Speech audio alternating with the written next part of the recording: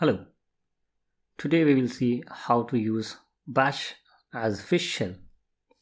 So if you're not aware what fish and bash is, so here is the example. So here you can see on the right we have fish shell and on the left it is a bash shell. What is the difference?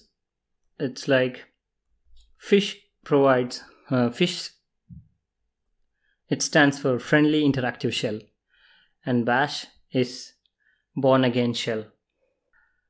Since Fish is interactive, it will help you to autocomplete your commands. For example, if I type cmake, before you type cmake, you can see it, it can help you autocomplete it. And if you want to see the flags, it will provide one or two lines from the man page of each flag or each option which is available for C, uh, for any command. For example so here you can see what exactly each flag or each option will do in CMake if you do the same here in bash you will get nothing.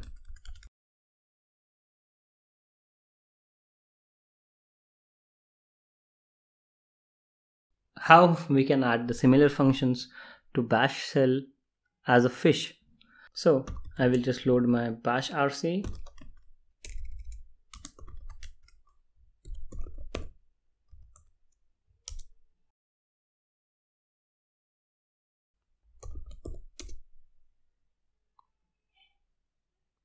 And here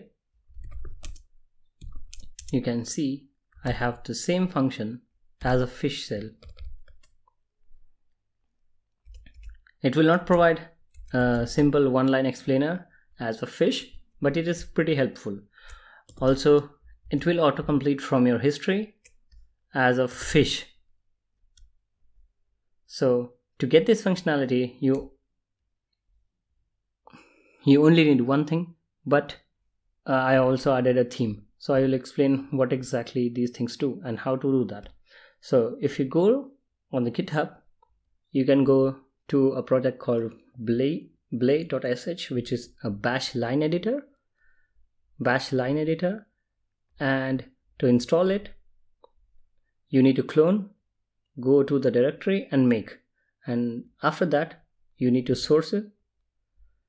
And then to install it, make install.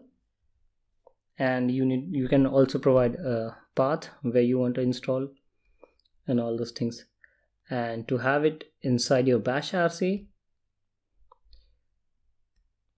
you need to add this line at the very top and this at the very end. So this is how you will have the autocomplete feature.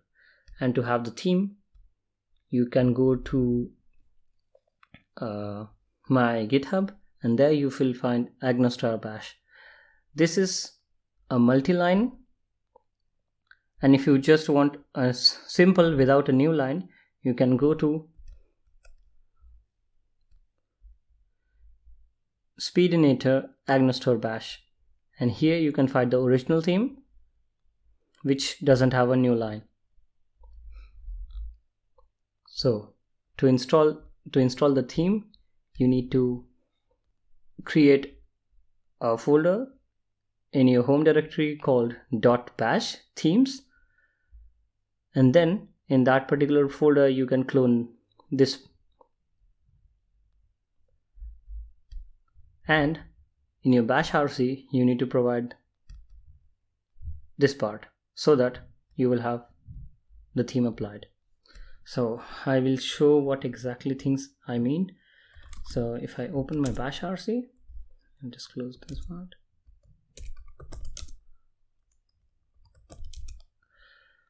here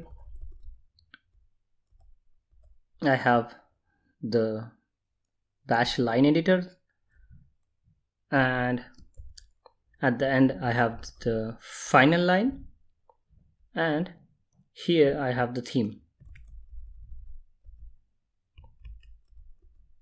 That's it. You only need these three things. And if you want to be if you want to go fancy you can also install fzf and it is a fuzzy file finder. So this is another topic for a video. This is a custom start page or a custom new tab page. And if you are curious about it you can just go to my my github and you can have it from there. So here it is evening startup page and I have the instructions for that how to do it if you are using Ubuntu. For other uh, for example I have installed it in Manjaro and there you have a different folder structure for copying these two files. So you have to check with your distribution. Okay so fzf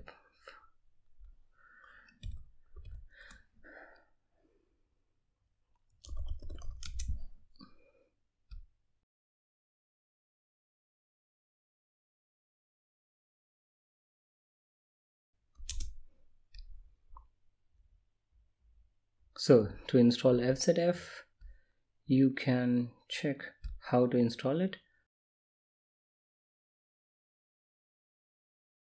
To install it via git you can git clone and do and do the fzf install. And if you are using uh, the for these following distributions you can install it via the respective command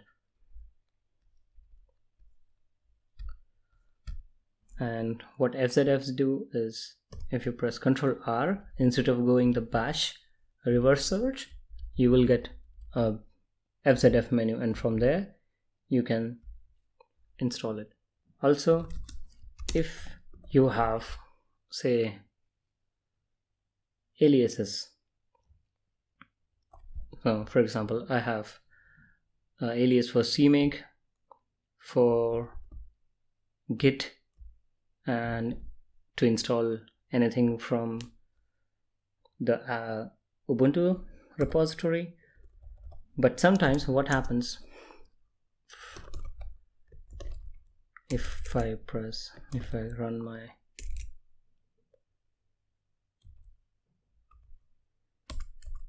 it will not autocomplete or it will not show the underlying command. For that I have.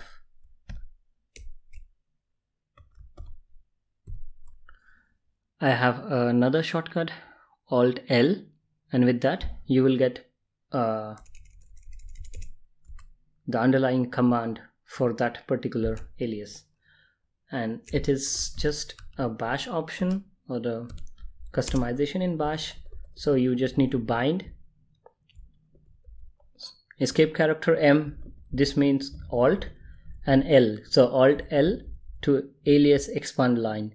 It will expand the alias onto that particular line. This is an optional thing to do.